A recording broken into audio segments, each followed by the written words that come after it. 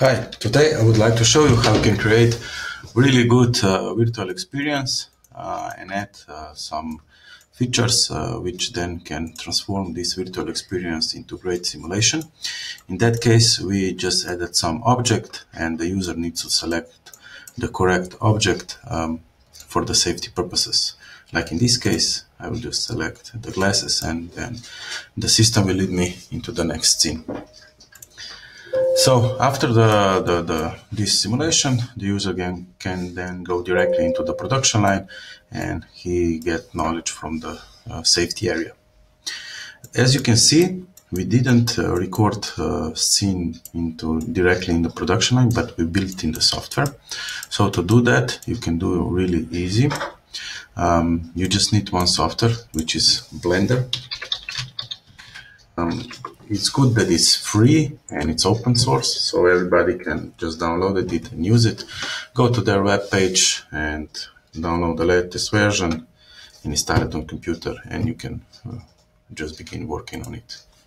So I will now open Blender. I already installed it.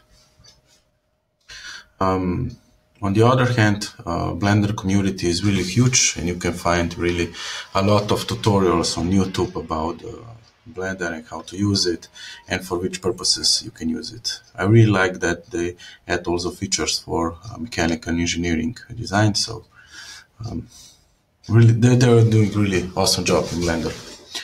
So um, to create a new scene for uh, virtual experience, we will just generate general scene. Um, before we will begin to build our scene, I really like to delete everything uh, is already on default. So I will select this cube object and I will press X button on keyboard and delete it. And I will delete also this light. So I need to, I want to have empty scene like this. Yeah, I delete everything as you can see in collection. Now everything is empty. So um, whenever I am doing a scene for virtual experience, firstly, what I add is camera. How can I add it? Ctrl A, Shift or A, it's like that, yes. So now you will need to learn basic uh, stuff, which is to add uh, any object or camera or light, you need to press on the keyboard Shift and A, and now you can select. So for now we will select camera because whenever I'm doing a virtual experience, as I mentioned, I, I firstly I add camera, and to position it in the, the right position, um, we will need to change the angles, but we want to do this because, as you can see, now it's a little bit, uh, it's not the, the, the angle, it's not perpendicular to the floor, uh, and uh, for virtual experience, it's very um, important to have everything aligned together. So just press um, the, the, rotation of the camera and put it in 90. Uh, we'll put epsilon or axis in 0 and then the z axis into the 90, like that. Yeah, and now everything is perfectly aligned. Uh, as you can um, see, this will be our point of first point of view into the virtual experience. And now we will move camera a little bit high. Um, to do that, click on keyboard G button and then pre press Z button and move it upper or change the high of the camera. So um, I will just give the high like the average person in the world has. So let's say 1.8 meters center and our camera is perfectly aligned into the our scene. So to add the cube or to create our room, uh, again I will press Shift A and I will select in the mesh, I will select cube and now we have the cube here. And I wanted to align it into the our floor. So how to do this? You can select this magnet, press G and move it up. Now it's perfectly aligned to our floor. And now I want to expand our room, so I will just do the, I will press S button on keyboard and I will just move it I'll be a little bit out like that. Um, you can also be really specific, um, but I will just, let's say, do it like that. So now I have uh, my room created. Maybe we can just a little bit more. Um, it can be a little bit bigger, um, but we will check this in our different perspective. You can change it in the top right corner. And now we will a a bit increase it. So it will be like that. And I will change the, the, the I will position the floor, uh, I will align the floor uh, of the room with the default floor. Yeah. How to do this? Press the object press tab button on the keyboard so that you can see the points of the cube. Now select the bottom points, press G and Z axis and move the points into the direction of the floor. Now the points are perfectly aligned and maybe if you want you can also increase the height of the of the, the, the ceiling. Again G and Z and pull it a little bit down, yeah? Or G and Z, pull it a little bit up. Okay, now if you can go, if you go into the cube, you can see that we have already created our room. But now we need also the table, yeah? How you can add a table? It's really simple to do this. Just a second, want to check that we really aligned with the um, it needs to be a little bit further up so again G Z and a little bit up but okay let's say it's okay and now I will add also table again mesh. I will select cube. And we have cube here. And now G and Z Z axis. Have it on the, the same floor like the, the, the, our room is. And then I will just um, go into the this uh, mesh view or how they say it. It's viewport shading and my cube new cube is selected or I can select it again and now I will move it towards the one uh, towards the one side of the our room so G and I will move it into the x-axis it's like that. Um, to a little bit modify uh, our table, I will just go into the edit mode. So I press the tab button on keyboard and now I can select these points and move it a little bit out. And I select left points of my table, again G and on X, uh, Y axis and move it a little bit out. And I want to decrease the height of my table. So I will select top points, G button on keyboard and Z to change the height on Z axis. So if you go out of the edit mode, press the tab button and we can see it. This is our scene. Yeah, it's really good. So now what we want to do is add also light because if you go into the render mode, viewport of shading into the render, you will see that it's really dark. There is no light inside, yeah? So we need to add it. But before we go, um, yeah, we can check that we are that the render engine is in Eevee. So we will add now light. So press Shift A together shift and A together and light, yeah. And uh, in this case, I will just choose the area light like that. Now I will move it into the further up, G and Z to move it into the toward the ceiling. And now you can back where it is. It's like that. And move it and I will disable magnet because I want to just a little bit for the floor.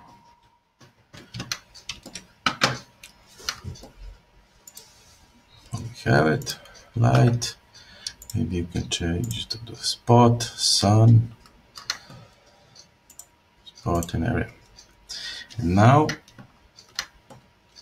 if you want to render uh, in blend if you want to in blender render uh, for virtual experience uh, you need to mm, do it into the cycle uh, engine these are different engine uh, maybe some from youtube will know more about this engine but i just know that uh, whenever i need to do the virtual experience mode in blender i need to use this cycles engine because only this engine allows me to export uh, 360 scene. So I will select this cycles engine. As you can see, it's uh, the area it's really dark, so I will change my lighting. I will go here into the light mode and I will put, let's say, sun. check what is happening. Nothing. So I will go again area and I will increase the power. Maybe this will change me. Yeah, it's a little bit, it's better.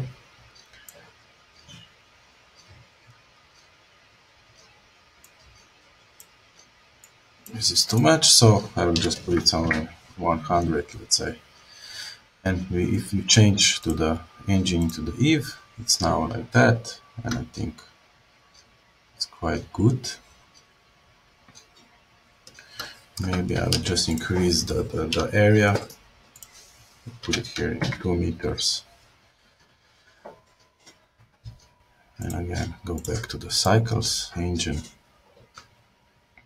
and I will just uh, select the, the settings uh, for exporting uh, of virtual experience.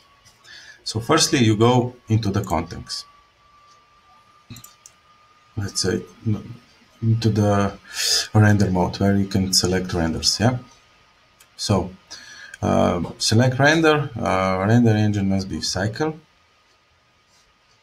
And then go to the output and select here for virtual experience scene needs to be um, 2.2 uh, according 1 so in that case we need to increase uh, the, the resolution that um, and now you can select the output. Um, we will choose, in this case, we'll choose uh, PNG, which is okay. Um, and now we will go to the view layer, uh, fine. Uh, so we need to select camera. In collection, just select camera and go into the camera mode. Now, what is important to export the virtual experience, you need to um, select the right type.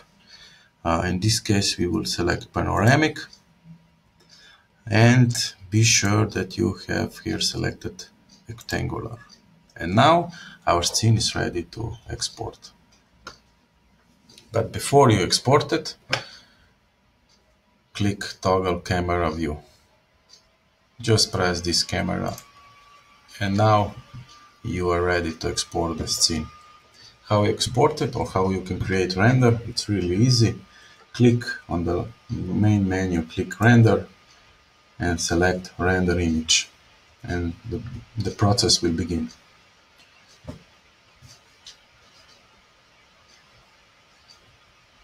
Okay. I already did it uh, because I have the shitty computer um, and it will take for ages. Uh, so I already prepared this. I will go back to Eve mode because uh, Cycles is really um, running my computer. like that. Okay, go back to scene.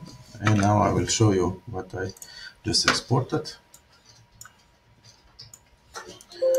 Um, so we have it here.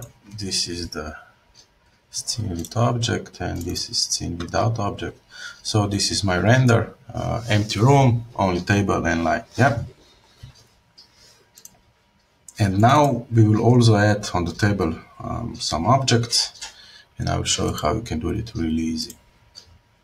Again, we go back to the um, our our Google Chrome and we will just type in uh, free object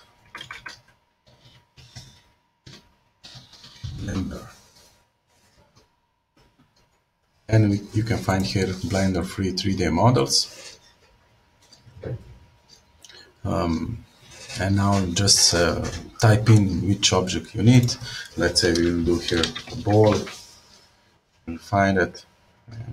Press on ball. Like that. Download it. I put it into the these files and then we need also let's say the second uh, object which is glass okay. glasses like that and you also select some one of these objects.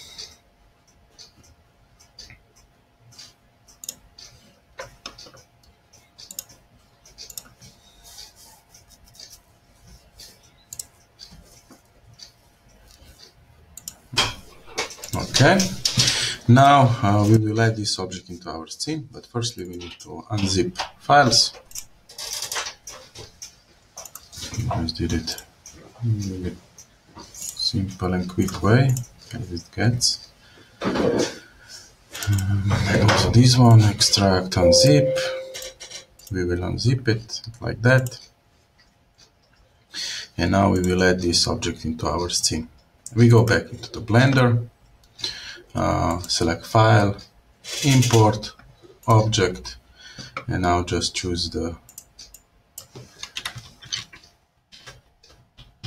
get object, the glasses object, import. As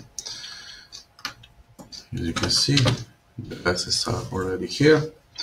I will just move it uh, towards the table and position it, it that. Uh, to rotate the object, just select the object, press R button on keyboard and you can rotate it, but I will rotate it on the Z axis, so I will press also Z on the keyboard and just turn, turn it or rotate it onto the Z axis. So again, a little bit further, like that and I want to a little bit uh, smaller the, the glasses so select the glasses press S button on keyboard and just move it and like that okay. will just place it on the, the table like that if you want to duplicate one of your object press Shift and D. Firstly, of course, select the object and then Shift and D. And it's already here. So I will just press now Y on my keyboard to move it into the onto the Y axis, like that. And now just set also the ball. We go into the import mode that we just go through the process again, how to import the object. Um, we will just import object and we will go into the this uh, folder so here is ball import object and the ball is already here so smaller a little bit and move it over the table place it onto the table so it's like this uh, before we render this scene now, uh, we want to be sure that all materials of the our new object are um, correctly set, so or, or, colors are correctly set. We don't need materials as much we need colors now. Uh, so go again into the render mode. As you can see, we are into Eve, Eve mode. Uh, there is no colors in our new object. Yeah. So firstly, we will do the correction of colors to the ball. To select the, the colors or materials of the ball, you need to select the ball. And now, here on this side of the Blender features or menu, you need to choose uh, symbol. See it? It's like that. Um, no, not range, that this one. uh, it's like it's like material. And orange is for different purposes. Um, maybe I will show you later but uh, this is really important to add some colors onto the new object. So choose the, the this globe or material uh, features. And now you can see you have two defined materials on this object. First is bianco and then the second is nero. So if I understand Italian uh, as much as I understand the blender, then the nero is black. Yeah. So we'll select now base color. We will put it into the black and bianco, we will just leave it like it is. And for the glasses, we will do the same. So if we go through the process again, select the object, find the material features, it's like here, and then you have two materials, frame and matte. So frame can be, uh, let's say, black color, yeah, and matte can be different color. But we can also add some transition, and that means that you will see it through. Um, it's like more the glass. So if you go again to the cycles mode, we have colors, we have everything. And again, to export render, just select camera because everything we have preset. Maybe we can go through again. We will select camera. Be sure again that you're in cycles mode. Be sure that you have um, two, uh, uh, two to one uh, resolution. Uh, so it's like that um, and be sure that you have type panoramic and panorama type rectangular. And now you're ready to export or render. How you can do that? Just click render and render image. And this is it. The process will begin. Uh, take time. It can, it can take um, really a lot of time to render this. Uh, it depends on your computer, but I already did do, did this, um, so we will just go and proceed to the next step. Okay, now I will close my Blender. I will not save it. Just okay. So as I show as I show you before, um, I have already uh, I have already produced the renders, which are in 360 image. And now you need engine, which will drive uh, your, how to say, virtual experience. Um, I suggest you to use uh, Viar 360. It's really friendly to use it. Uh, I I helped to develop this uh, um, platform, and I really like it. Um, I don't know which which uh, which engine you can use. Also, they say it's really good also in Unity, but need to programming and other stuff. Um, so honestly, I can just recommend you Viar because I only know this engine. Uh, just type into the Google uh, search Viar360.com and you can also you have here the trial version uh, which is like two weeks and you can test it if it's okay for you. Um, so I will just go now into the platform. Um, I will upload my renders. I'll go to the project. Uh, I will upload it. I have it here. Select the files and upload it into the platform it's like that.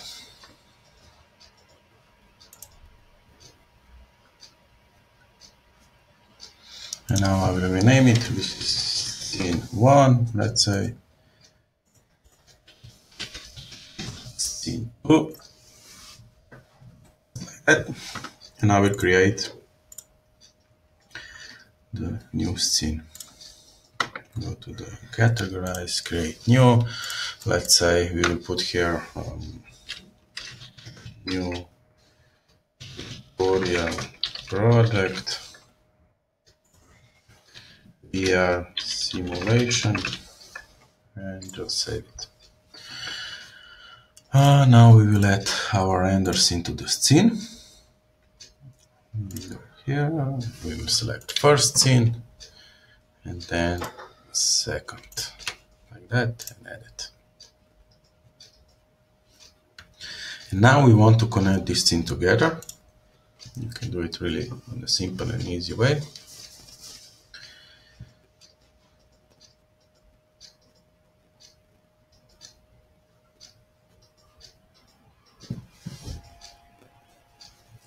So now this is our empty scene where we can add on um, welcome text. So we will just click double click to create hotspot. Um, we will create some text on canvas and we will set here welcome. Welcome to our first simulation. To begin with um, please click button let's say and put it apply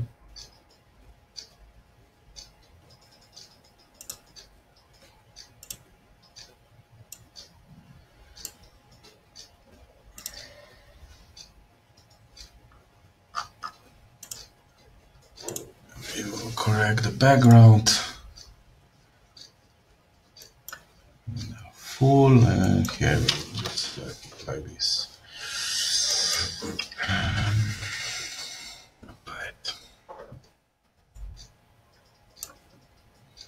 Okay, and now we will just select transition to our next scene, which can be done really easy. Again, double click to create a temporary hotspot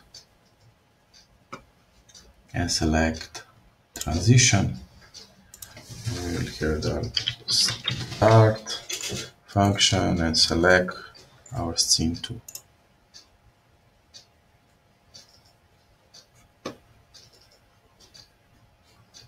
Apply apply all the settings.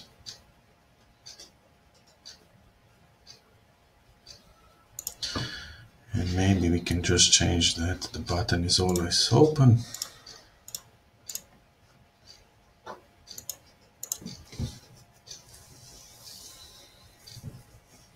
It's like that. So if we go back to our scene and again to our preview it will look like this, our simulation.